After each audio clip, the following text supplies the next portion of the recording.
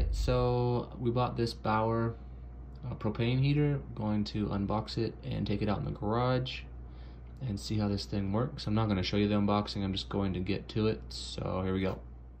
Okay, we're out in the garage. It's hooked up. Came with a nice 10 foot uh, hose. Got it plugged in. I'm sure it has the measurements on the box, but I didn't pay attention, so it is pretty small. It's not very big at all. So anyway, it's 50 degrees in here. It's pretty warm considering the month. Uh, hopefully I have enough gas here, propane, because I'm going to let it run for 15 minutes and see what we can get this 50 degree garage to. Garage is uh, 20 by about 30. So let's get started. Okay, it was super easy to start up. You just let the fan run for just a few seconds, turn the gas knob quarter turn, hold this in while you uh, push that ignite ignition button there. Once it fires, let go of the ignition and just hold the gas button for about five more seconds. We're on low right now.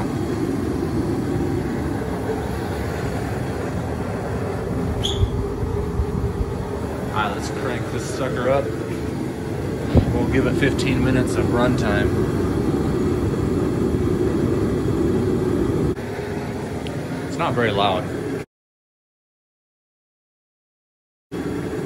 By the way, um, some of the industrial ones, the kerosene ones are super loud, but they're also like 10 times this size. So this is perfect. You can definitely talk with it on. You don't have to yell. So this is awesome. I'm pretty happy with it so far. Build quality is really nice. Okay, I told you guys I was gonna give it around 15 minutes. It's been a little longer. It's been a little over 20 minutes. Uh, we do have the garage open a little bit for ventilation. And let's look at this. Let's see, what do we got?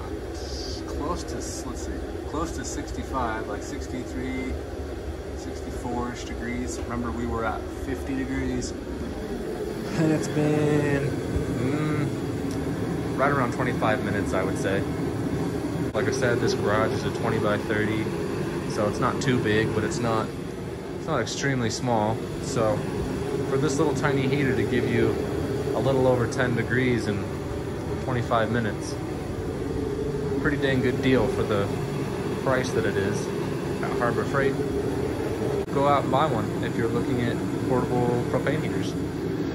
I just want to thank you guys for watching, if you did, and if you have any questions about it, or just let me know, and I will answer the best I can. We'll see you guys later.